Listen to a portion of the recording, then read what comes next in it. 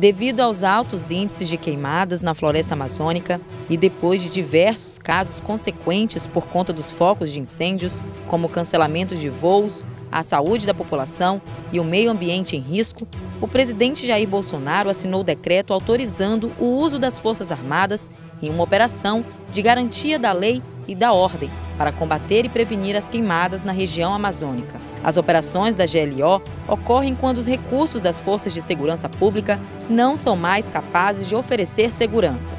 Aviões da Força Aérea Brasileira já estão atuando e seguem sobrevoando até o dia 24 de setembro.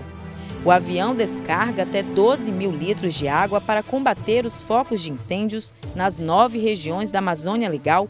Com isso, o Corpo de Bombeiros Militar sai da operação nas proximidades da Amazônia continua realizando operações nas áreas urbanas.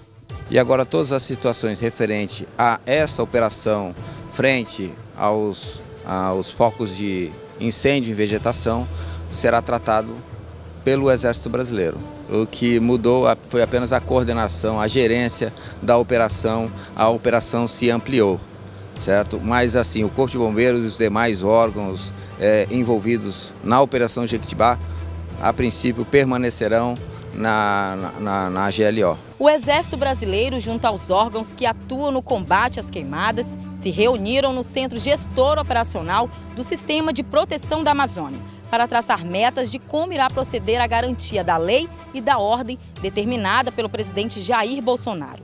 A entrada da imprensa não foi autorizada e a assessoria do Exército informou que em breve uma nota será divulgada com mais detalhes dessa operação. O mês de agosto deste ano já superou a média histórica dos últimos 21 anos. Segundo dados do Programa de Queimadas do Instituto Nacional de Pesquisas Espaciais, revelado no último domingo, já foram 25.934 registros de focos de queimadas na Amazônia.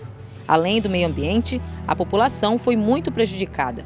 No Hospital Infantil Cosme Damião, em Porto Velho, os atendimentos triplicaram. Nesse mês de agosto, nos primeiros 10 dias do mês, nós tivemos em torno de 120 atendimentos relacionados a problemas respiratórios em crianças.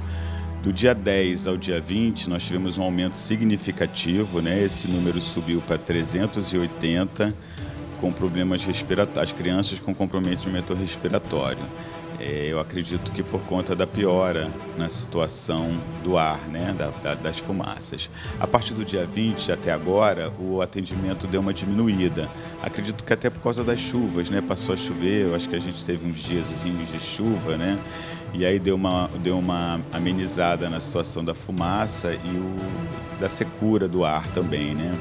Então eu acho que a tendência agora é a gente espera que melhore, mas a gente teve uma diminuição a partir do dia 20 com relação ao atendimento por problemas respiratórios em crianças. E no clima de seca que o estado enfrenta, o Rio Madeira está com nível mais baixo do que no último ano. Por esse motivo, a Marinha do Brasil restringiu a navegação noturna para comboios no Rio Madeira por tempo indeterminado. A fiscalização está sendo realizada diariamente e um alerta está sendo emitido durante todo o dia para as embarcações. Segundo dados da Delegacia Fluvial de Porto Velho, no ano passado, neste mesmo período de seca, o nível do Rio Madeira chegou a 3 metros e 90 centímetros. Hoje, o Rio Madeira está em alerta, com 60 centímetros a menos do que o ano passado. É, na verdade, já está previsto na norma, na norma de procedimento para a Capitania Fluvial da Amazônia Ocidental, é, toda vez que a régua do rio for inferior a 4 metros, é, é, é proibida a navegação noturna para comboio e para embarcações com calado superior a, a 2,30 metros. E centímetros. Hoje, por exemplo, nós estamos com a régua do Rio, é a régua oficial em 3 metros e 30 centímetros.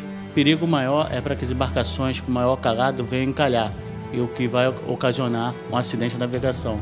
Ressalto que nesse período ocorre aparência, aparece bastante pedrais, é, praias, o que proporciona ainda maior esse encalhe. A fiscalização é feita de domingo a domingo, de domingo a domingo, e nesse período ela foi intensificada. É importante também frisar que nós, a cada 30 minutos nós estamos utilizando o canal 16, que é o canal da segurança da navegação, é, de modo a disseminar uma mensagem de atenção à navegação para todas as embarcações que navegam no Rio Madeira.